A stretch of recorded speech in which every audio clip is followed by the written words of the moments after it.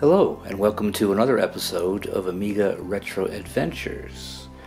Today's going to be a quick tutorial on how to, as you can kind of barely see down there, that itty bitty piece of electronics, to, there we go, focus. It's always good to have things in focus.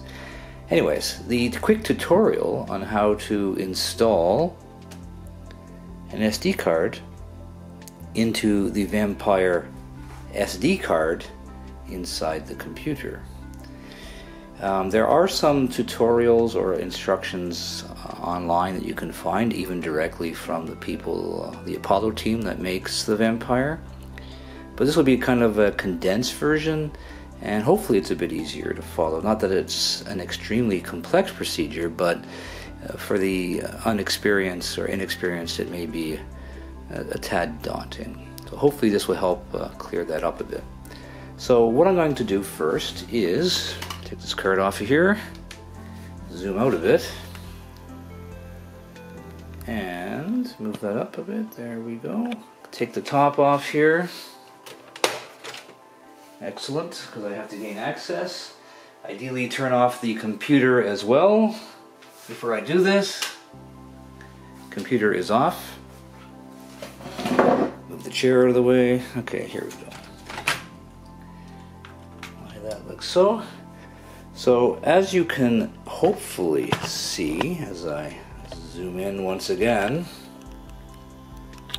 there is the SD card slot right here, without getting my finger too much in the way. Of course, the compact flash for the boot drive is here. You can't boot off of these drives, the uh, Secure Digital, the SD card slots, but they make a great storage device. And by default, the Coffin OS, which I highly recommend you install, that takes complete advantage of the Vampire and gives you a lot of software. Um, by default, the uh, Coffin OS does not come with uh, like a, a, mounted SD0 or SD card uh, type device. So I will. In this is a 16 gigabyte SanDisk, and I highly, highly recommend that you use the uh, out of focus uh, disk device. Um, I have pretty good luck with these cards. I have issues for some reason with Kingston's. Um, they work okay if they're DOS uh, formatted, like set up for the DOS file system. I think FAT95 for the Amiga, but I want to use PFS, which is uh, good for these because uh, file recovery, sorry, file recovery, built-in redundancies, uh, especially when they're writing, and it's much more robust than either FAT95 or um, the regular fast file system for the Amiga. Anyway, enough of that. So it is installed. I will put everything back together again, and I will join you on the capture card, and you'll see the workbench, hopefully, of my Vampire Amiga 500, and we shall go from there. I will be right back. Hello. As you can see, I am now at the Amiga workbench. And just to let you know before we start, everything that you see me do, pretty much, all the software is installed as part of the Coffin OS revision 54. So you don't have to go on the internet and re-download anything or Aminet or anywhere else. Everything that I'm using here is part of this installation. So it makes things much, much easier. So the first thing we did, uh, the first thing we need to do is to make sure that the SD card that I inserted into the SD card slot on the Vampire is compatible. Let us open up the command prompt, which is kind of represented very nicely here by this icon. And type in SD diag. Now this is the program that's going to basically do a diagnostic on the SD card and make sure everything looks okay. And success. It's been detected block size, total blocks, and capacity, 15 gigabytes, which is pretty close to the 16. And that's pretty much it. So we know this works. Now, if you get an error of some kind or whatever, then uh, you can always try cleaning the con, like you know, taking out the card, cleaning the contacts, maybe on the card in the socket itself, like the SD card slot, I should say. And uh, if you still get the error even after those attempts, you would probably have to try a different SD card because there's a good chance that uh, it's not compatible with the Vampire. And I, except for the Kingston, it, uh, like I said, I have weird issues with the Kingston drives. It shows up fine here, but for some reason, unless it's FAT95 file system, uh, it doesn't like anything else. It seems like if I use the uh, professional file system, which I'm about to do now, it works somewhat, but I get lots of write errors and other weird things start happening, and it's just bad. So I highly recommend using the, the SanDisk models. They seem to be very compatible and very compliant. Okay, that being said, everything looks fine here. We need to go into the system folder, into tools, and as you can see, I've already made an HD toolbox because we need to use HD toolbox. Now, HD toolbox here is going to use the standard SCSI device, which is going to use, of course, as you've seen earlier at the beginning of this episode, uh, it, it, basically controls the, uh, it's the interface for the compact flash card, which the OS boots off of. But I made one specifically for the SAGA um, SD device, and all it is is I copied this into RAM. Here, I can show you copied it into here, went into RAM, you can right click on that, information, icon, um, ask device is selected. Uh, that it actually makes it easier initially because you can when you run it it'll actually ask you what device you want to connect HD toolbox to but for simplicity once if you specify like in here it just goes right into it and it's a, it's a bit quicker saves you some time but all I did was edit this take off these brackets because brackets basically comments it out. And then I put in SAGA SD dot device. Click on save. Now I can run it from here and uh, it would work just fine, but I wanted to copy just for future use if I got a different SD card or whatnot. And of course I just renamed it like so.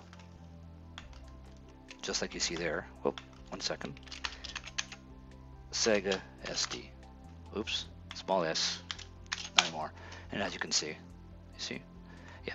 And uh, I'll just replace this. Replace. And that's all I did. Now I have two versions. I have the version that runs the uh, SCSI device, which, like I, like I said, is a default Amiga device for hard drives and, and whatnot. And now I have one specifically configured for the SAGA SD. Okay, let's move this out of the way. So now that it's configured, I shall run this. And as you can see, I didn't make a typo because it's actually showing the interface, which is the SAGA SD device, and of course it detects the card. So I'm going to click on this. Now this hasn't been installed or configured previously, it's, telling me that. Click OK. Now by, de uh, sorry about that.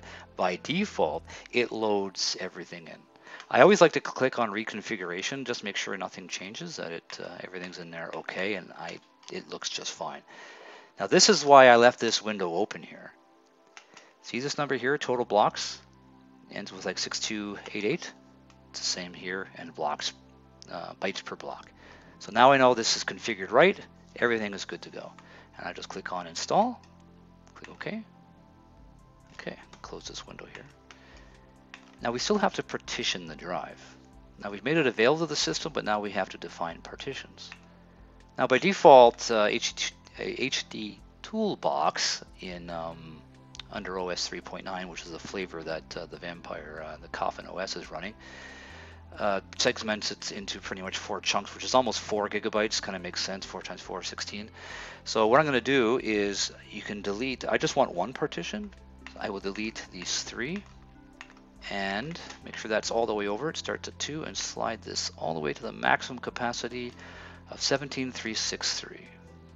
And it looks good everything is good indeed. Okay. So we have one partition. Uh, there's the partition size. We're going to change this. You can just call this SD0. It's fine. Hit enter.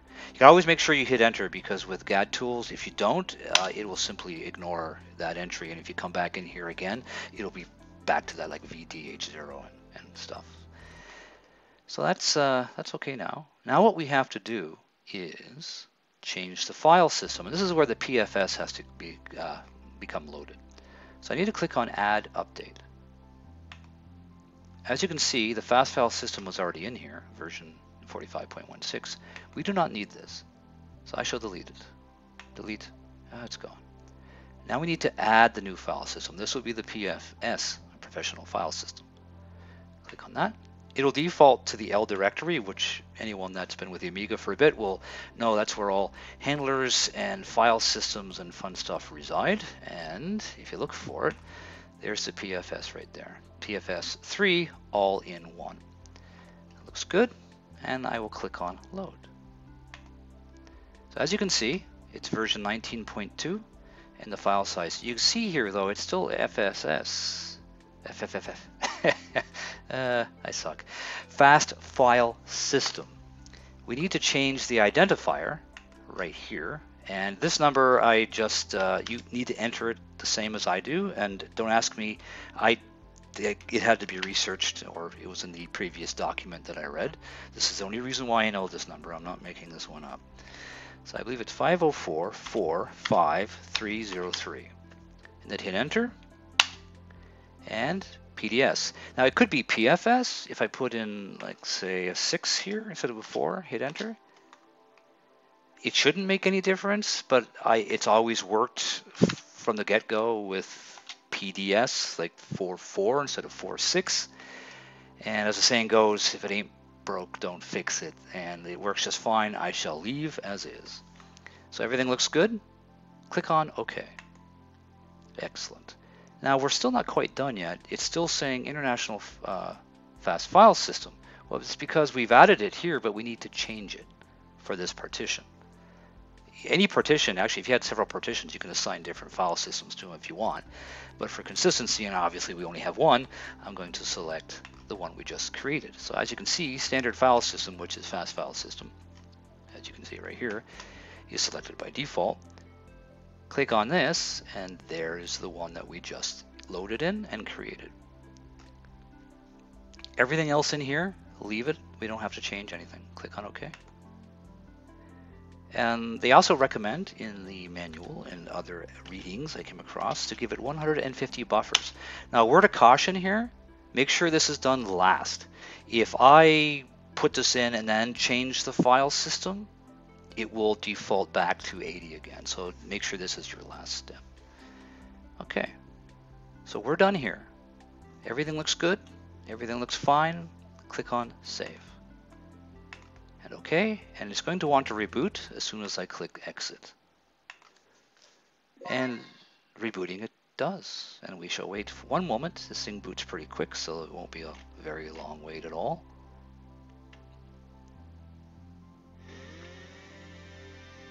Okay. So we have the partition parameters and the drive definitions all sorted out through HD Toolbox. And now what we will do is go into the system directory, or system drive, I should say, DH0, and under utilities, or not, under tools. Nope, I have lied to you twice. How about system? Excellent. See, if I lied to you three times, it's game over, but just twice. Sorry. There's a tool called SD mount on and off, and that actually will mount the SD partition if it already exists. If you don't have it like auto loading through like in here, devs, like whatever's in here, and uh, DOS drivers will load when the computer boots up.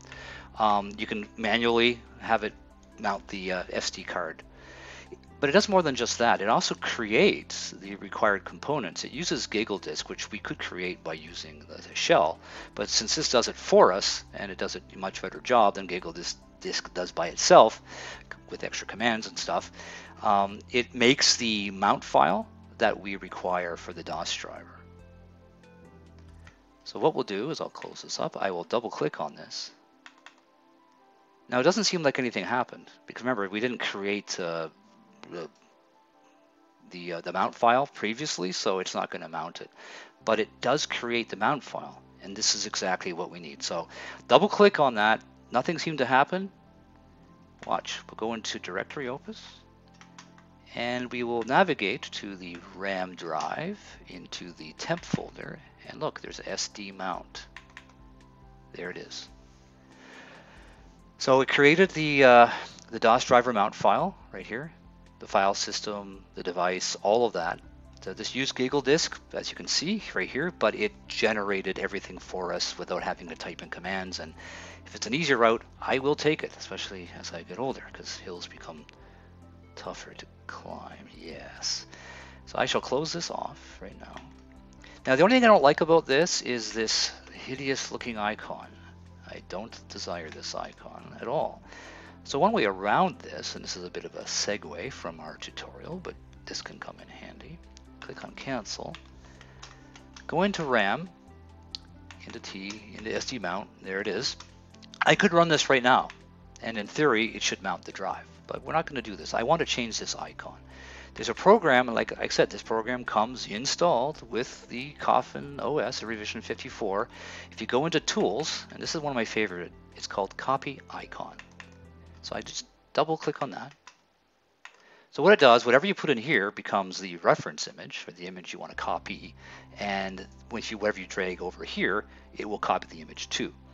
The beauty thing, the beautiful thing about this is it doesn't overwrite the information. It just changes the icon image. So if you have weird looking icons, and it can batch to them. You can drag a whole bunch in there as well. It doesn't matter.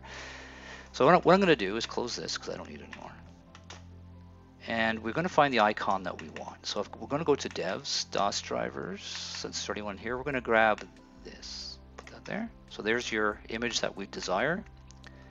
And if I go back into SD mount, and click here. There we go. Now it looks nice. And then I, like I said, it retains the information in the icon. So if you go to icons and information and then the icon tab, it's all still there. And this doesn't, except for activate, nothing else really needs to be in here because it's already defined in the, uh, the mount file for the DOS driver, but we'll leave it there. It won't hurt anything. Okay. So what I can do at this point, I could go to directory opus, but you know what? Let's just drag and drop things. I have a habit of closing all windows. I don't know why I do that. Maybe I just like open spaces. I do live in the country, you know. Maybe that's why. Hmm. But anyway, we will go into system and DOS drivers. Now you could dump this into storage DOS drivers, but you would uh, not data types DOS drivers.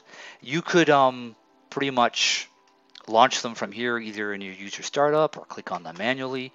I want the uh, card to be mounted when the computer boots. So that's system, the system folder, DH0, devs, DOS drivers. copy that over into here. Okay. And let me clean this up. Uh, clean up by type and resize to fit and snapshot all. There we go. So just to make sure this works properly, um, I'm just going to reboot the computer one more time. Actually, I might might have to boot it one more time after this one more time, but we'll see.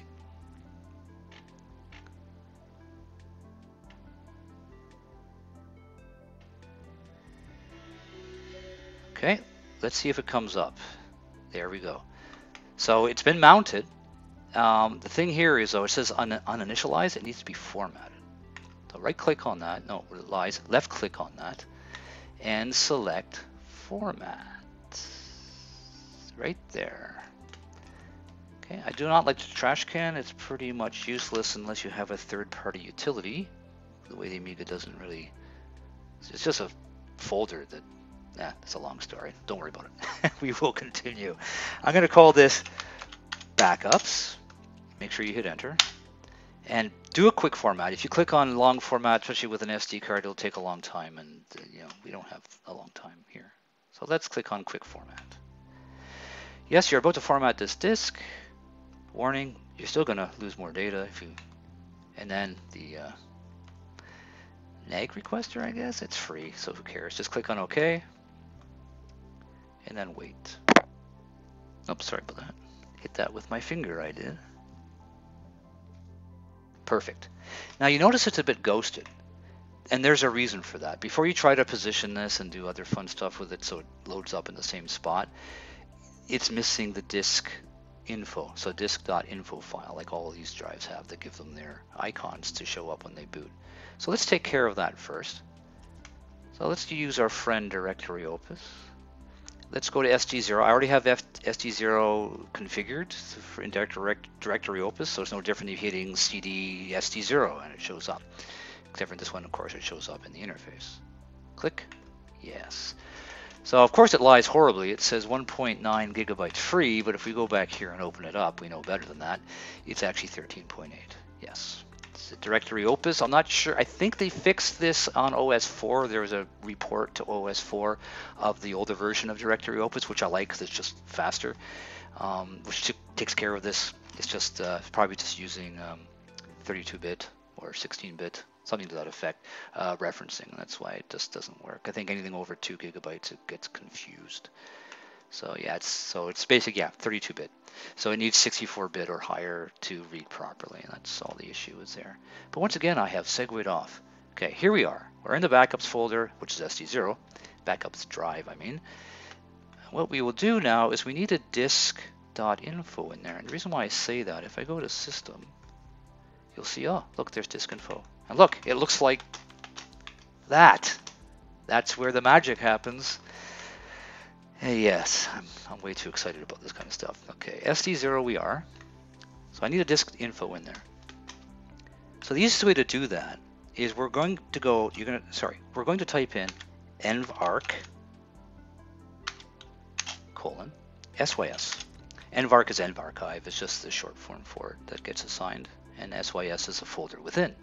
I will hit enter. This is basically where, as you can see, it hides lots of uh, default images for drives, floppy disks, uh, pretty much everything. So we're going to go down to the SD0 one, if I don't get lost in this soup of things. There we go. So if I double click on this, that's what it looks like. It looks like the other one, but this won't be ghosted. So you need to, all you have to do is copy this and rename it at the same time, which works really well in directory opus while I'm using it. So I'm going to click on this one here. So default underscore sd0.info. Click on copy as. And it's going to be called disk.info.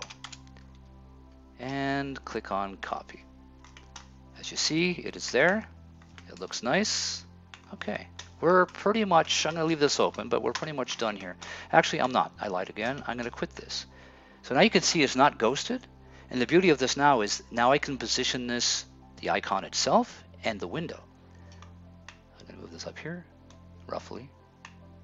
Okay, I'm to open this for reference, and I'm going to reposition this window so it looks nice right there.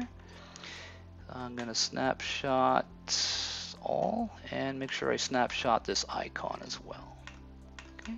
So to make sure this sticks, one more reboot. Yes, I just wish we could reboot our lives sometimes. Wouldn't that make things so much simpler? Like redos or infinite lives. Hmm. Interesting. Look at that. Beauty, eh? That's the Canadian content for this show. Thank you very much. And here we go.